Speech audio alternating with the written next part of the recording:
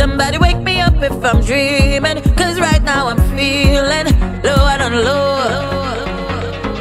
I think my heart is bleeding. The pain is not leaving. It won't let me go. But then I